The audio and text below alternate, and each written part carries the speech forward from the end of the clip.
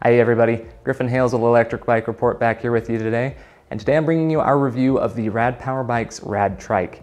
Now this is a pretty exciting review as this model was the most requested from Rad customers. Now, for many people, two wheels just won't do and they need the stability of three, and that is what trike design can afford you. Now, that could be seniors who are looking for a little bit more balance or people with physical limitations that just need that eh, the help of the extra third wheel.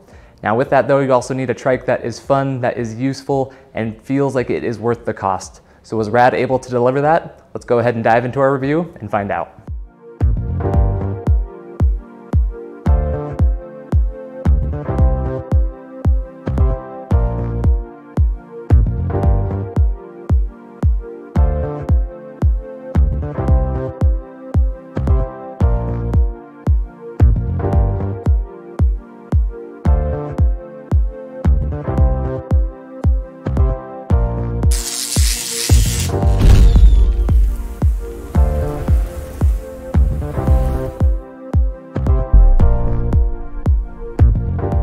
While a trike has been a long requested model from RAD, it is not something that they have rushed to the market.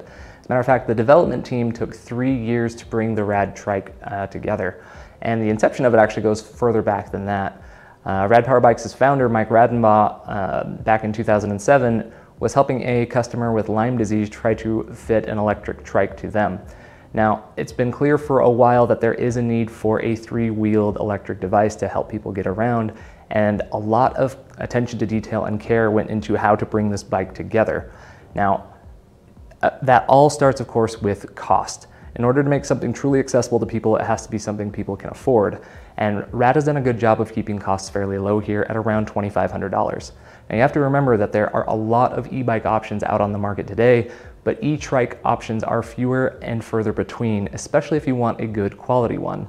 So at $2,500, that's relatively affordable for the average consumer. Now, not only is it affordable, but they've also done a lot to make this trike safe. Now, a few different things kind of get uh, put into that, whether it's the 18 inch wheels that help keep it lower to the ground, the uh, slackened seat tube angle right here keeps the rider weight a little bit further back and over the rear axle to help keep wheels on the ground. And of course, even the drivetrain, which we're gonna dive into here in just a minute, it has been designed in such a way as to make this trike as safe as possible and as easy to operate as it can. Now with a trike, you also want something that is comfortable, practical, and something you can envision integrating into your everyday life. Now with comfort, it all starts with the seat here. It's a generously padded seat and it comes with a backrest as well, both of which can be adjusted forward or back, up and down. That helps riders find their ideal seated position. Now riders on this, by the way, the Rad Trike accommodates from 4 foot 10 up to 6 foot 4 and 325 pounds. That casts a pretty wide net, allowing a lot of different people uh, the ability to envision themselves riding along the Rad Trike here. Now, again, it's got to be something that you can just envision moving it around and getting it in and out of uh, places at your home or at your office. And Rad actually thought this through really well because this trike can fit through a doorway. Now here at our offices, we have a double door entrance and just when I first saw the trike, I instinctively went to go open that second door. Now Brendan from our team, as soon as he saw me go and open it, he said, no, no, no, it'll fit. And sure enough, it had about half an inch on either side, but it fit through just the single door. That kind of blew my mind and again, further showcases the attention to detail here. Rad went as far as to make recessed lug nuts uh, here on either side of the wheel so that it could have that space. And it probably was the difference maker between getting it through the door or not. Now, there is more to it as well because oftentimes with trikes, you can easily pull yourself into a tight space, but it's hard backing out.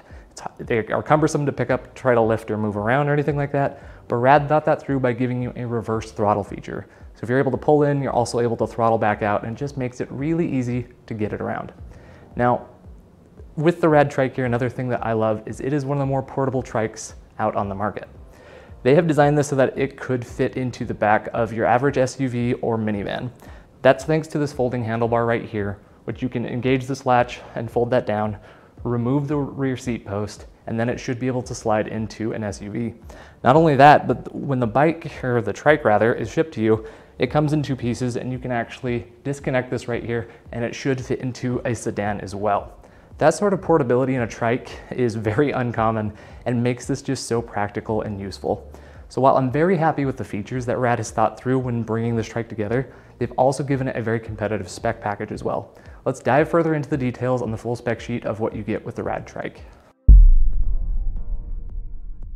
So the Rad Trike is a class 2 e-trike capable of speeds up to 14 miles per hour through either the pedal assist or through the throttle. We actually love the fact that Rad decided to cap it at 14 miles per hour. Uh, trikes in general need to be ridden more slowly than e-bike counterparts, so I like that attention to detail and safety there. Now, powering the Rad Trike is a 750 watt front hub motor. Uh, this actually is a very powerful motor, and by powerful I don't mean in terms of speed, but in just its ability to accelerate the rider up to uh, the cruising speeds at the different pedal assist levels is really, really nice. Now, it comes paired with a 480 watt hour battery, um, my initial impression was I thought that would be actually a, a, little bit of a smaller battery that might not give great range, but I was proven wrong in our range tests, which we'll be showing you here in just a couple of minutes. Now, stopping the trike is a 180 millimeter uh, mechanical disc brake here in the front, and then you actually have kind of an old school throwback here. Rad has given you a back pedal coaster brake. So just like the bikes and trikes we rode when we were kids, when you go reverse on the pedals, it'll actually engage the brake that locks up this rear wheel here as well through the drivetrain system. Now, the reason I am gesturing towards the right wheel and not saying wheels is because it actually only stops this uh, right rear wheel. The left wheel is actually a free wheel, which helps mitigate a single axle problem that exists with trikes. The free wheel allows it to just spin freely and try to match the speed being uh, applied to the right uh, wheel. So as you're pedaling around, it just makes it a little bit better for taking turns and just overall pretty good design. Now, Along with the braking system, we of course have, um, we're riding on 18 inch Kenda Kontact tires. Uh, these tires have held up pretty well. We haven't had any flats in our um, numerous miles of testing. Uh, they roll pretty well and you're actually able to pedal the bike around decently on flat ground thanks to the smoother tread pattern. Uh, you also get a fairly bright front LED headlight and rear tail light as well. Some fender, uh, the Trike comes with fenders over each wheel that do have some reflectors on it for added visibility and safety, and of course just keeping um, water off of you as it uh, splashes up and kicks up from the tire. Now, moving up towards the cockpit here, it's actually fairly comfortable as well. This is a high-rise handlebar, which again is nice because as you're seated on the trike, it has a generous 20 degree sweep that comes back towards you, allowing you to sit upright and be able to see clearly on the path in front of you but it's a very uncluttered cockpit overall. It only has the one brake lever, of course, since you only have the one mechanical disc brake up front. And then you have just this one controller over on the left-hand side for increasing or decreasing your pedal assist speed with a 10, uh, 10 bar LED readout for your battery. Now there is no uh, center matching screen that comes with this, typically like on the Rad City or the Rad Rover. You can add that after checkout if you do want to have a display showcasing your miles per hour, or you can also get a phone mount and there's lots of different apps you can choose from for displaying your speed by mounting that on the handlebar right here. Over on the right hand side is of course the half, half twist grip throttle, and then it's just a softer overall rubber on these grips. I actually like these grips quite a bit. Now that covers all the things that come standard, but there's also more ways to equip the Rad Trike that make it more useful and more utilitous. As you can see with the test model that we have here, we have a large front basket and rear basket as well, both of which have different bags. Now I actually found these to be really useful. I really like the option to be able to take different forms of cargo with you. Um, particularly this rear basket is one that I highly recommend because it's nice to be able to load up some extra weight that kind of helps keep those wheels planted, especially as you're taking corners or turns. Again, operate trikes more slowly, but if you do have more weight, you can take the, the turns with a little bit more confidence. Overall, for the around that $2,500 price point, it's a pretty good and competitive uh, spec package. But now let's go ahead and move on to talk about how it all handles and feels out on the roads. Now, given that this is a trike and not a bike, it has its own way of handling. So we actually created a new test where we wanted to see at what speeds you could comfortably take a corner here on the Rad Trike. Now, we did this three different times. We did it at uh, five miles per hour before starting a turn, 10 miles per hour, and then the max pedal assist speed of 14 miles per hour here on the trike. Now, this was a, a, pretty unanimous group decision where we all felt that at five miles per hour where things are slower is where the trike handles best. Uh, you can take the turn with confidence and not have to worry about uh, tipping up onto two wheels or anything like that. At 10 miles per hour, we found that we were able to do it. It uh, did, however, make us slightly nervous, just felt a little less secure going at that speed. And then at 14 miles per hour, again, we were able to navigate it, but that just requires a more advanced style of handling, and I don't know that I would recommend people go up to 14 miles per hour when they need to navigate a turn. Now, uh, overall, I do think that the Rad trike handles fairly well as long as you kind of keep it within its limits. And Rad actually set the trike up for success so that it could be operated safely. Now, with trike design, one thing that you have to account for and solve is what is known as the rear uh, or the single axle problem. These two uh, tires here in the back, if they share one single axle that causes both tires to rotate at the same amount of speed, that can actually cause it to be a little bit tip prone. As you go to take a turn, the outside wheel needs to actually travel at a faster rate of speed than the inside wheel since it has more ground to cover. Now, how RAD's been able to solve for that is by setting up a free wheel here on the left-hand side.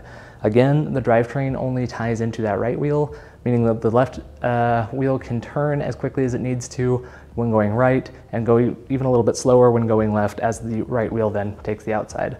Overall, it was pretty good engineering on RAD's part, and again, it's a safe handling trike as long as you keep it within its parameters. Another thing that RAD has done to help people um, safely travel around on trikes, they even have a little instruction manual for educating people on how to best operate it. Again, it is a trike and not a bike, so it's important that you familiarize yourself with it first before riding around. Now e-bikes and e-trikes have a lot of fun proposition, of course, thanks to the help of the motor being able to take you at uh, good cruising speeds, but it's also really important to make sure there's a counterbalance in place and the ability to brake is just as important. So we put the Rad Trike through a brake test. Now what we did is we brought the trike up to its max 14 miles per hour assisted speed and then came to a stop as quickly and safely as we could. Now, again, the Rad Trike features a mechanical disc brake on the front tire with a 180 millimeter uh, rotor. And then of course there is the back pedal coaster brake here as well. We, we utilized both of these in our braking and got pretty good brake results. We stopped an average of 10 feet and 5 inches, which of course is one of the lowest brake tests we've ever recorded. Not fully a fair fight with the other ones we've done as those we brought up to 20 miles per hour, but the fact that you can stop this within 10 feet from its top pedal assisted speed is pretty great to see and overall pretty happy with the braking capabilities here on the Rad Trike. Now when we get bikes into review, we always put them on our circuit test to get a better understanding of the speed profile. So even with the Rad Trike here, we took it out to the EBR circuit. The EBR circuit is a one mile loop consisting of four right-hand turns and a small 30 foot climb. This gives us, again, the opportunity to see what speeds this uh, trike is capable of, but we also get a, an opportunity to get a real good sense for the motor and its overall engagement. So from the graphic that you're looking at on your screen right here, you're gonna see that I started out at about 8.8 miles per hour without the help of the motor. Uh, through every consecutive lap thereafter. Uh, it helped me out just a little bit on the hills, but you're not seeing dramatic jumps until PAS 4 or PAS 5 when it really started to add on top of what I am able to bring to the table with my own legs.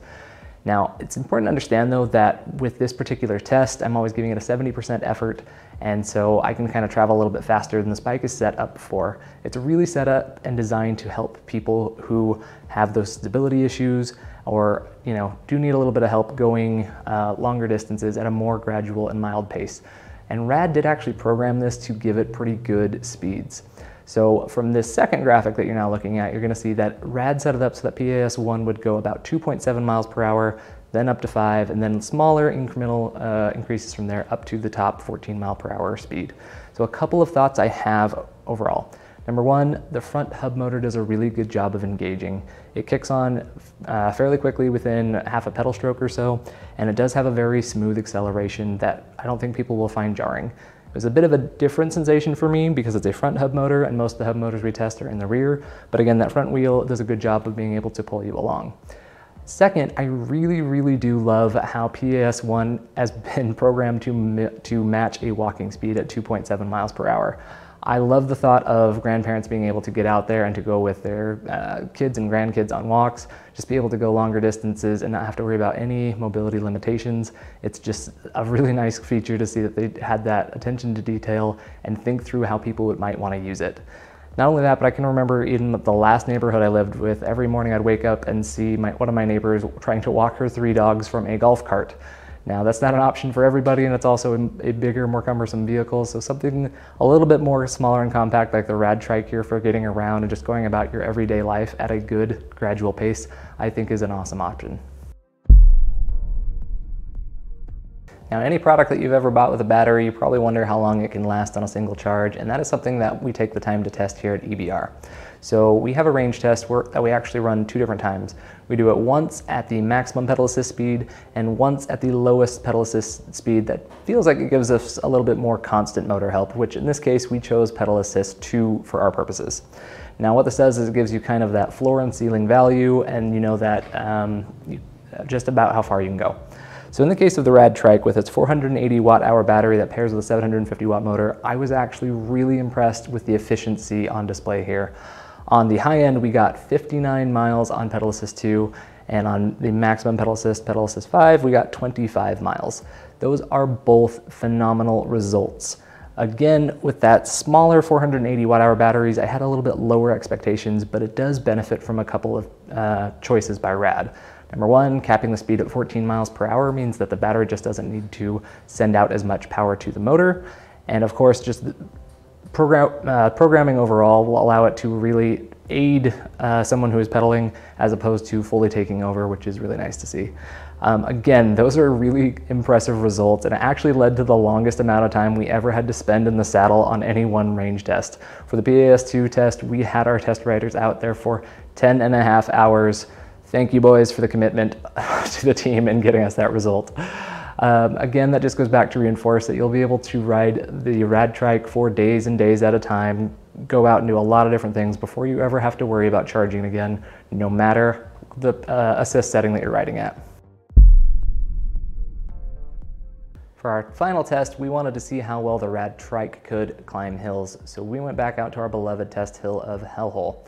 Now Hellhole is a third of a mile long with a 12% average grade. It's a very steep and extreme example of a hill that you might come across, but we chose it specifically because we frankly didn't expect all e-bikes or e-trikes to make it to the top. We wanted to find out what the motors are capable of when stretched to their absolute limit.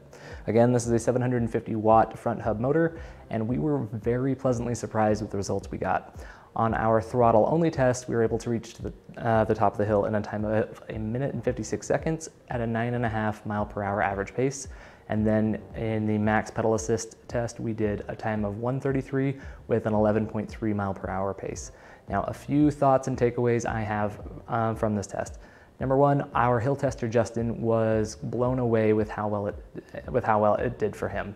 He had actually just strained his hip flexor the week before that, so he was a little bit limited, but he remarked how it absolutely just was able to climb that hill wonderfully for him. And as you can see, it's something that you can reach the top with throttle only power. So if you do not want to aid in the pedaling, it can get to the top of even very steep hills. Rad did a lot on this motor uh, and really dialed it in. They've programmed it to allow for more torque at lower speeds. Again, are you flying or blazing to the top of hills on this? No, you're not but you're actually getting a very uh, smooth uh, power delivery from the motor that will get you to the top. So overall, very happy with the performance on the hill test. The biggest takeaway here at the end of the Rad Trike review would be this. Rad set out to make a trike that is fun, useful, practical, and most importantly, is a good option for people requiring three wheels instead of two, and I think it is largely mission accomplished. It is a trike that climbs hills really well. It can afford you battery life where you will go days at a time without having to worry about charging, and there's a lot of safety just kind of built in from the uh, ground up when they engineered this bike. It's got a pretty good handling overall, I would say, with a low center of gravity. Again, with trikes, it's really important that you understand how to handle them, uh, first, so always take things slow, but as long as you're keeping the trike to within its paces, it's going to be a good time. Now, I really like also the attention to detail where you're able to pick your speed at the different pedal assist uh, settings. That PAS one matching a walking pace is really awesome to me. I like the thought of uh, people who would otherwise maybe miss out on going for longer walks being able to go and do that. The only thing I maybe want to see changed uh, in the future would be making the throttle speed tie in with the pedal assist speed. Uh, it doesn't matter if you're at PAS 1, 2, or 3, the throttle will at all times propel you to the max 14 miles per hour. I would have liked to see that tie in so that you could add the option of throttling just to that 3 to 5 miles per hour. Um, I think there's also an argument to be made for potentially lowering the speed too if you're someone who doesn't even want to travel 14 miles per hour, maybe cap yourself uh, lower at 10 miles per hour. That'd be a good adjustment as well in the future. Now, while those are, would be nice additions to look forward to down the road, I still think that what you're getting overall is a good, safe, and fun package, and I'm really impressed with what Rad was able to accomplish here on the Rad Trike. Now, if you found this review helpful, please give this video a like. If you haven't yet, subscribe to the Electric Bike Report channel and don't forget to enable the bell notifications. And then we will of course leave two different links down in the description below, one for current pricing on the Rad Trike and another one for a detailed written review where you can check out more of the data we collected while taking a look at the Rad Trike. Again, I'm Griffin Hales with Electric Bike Report. We'll see you on the next review.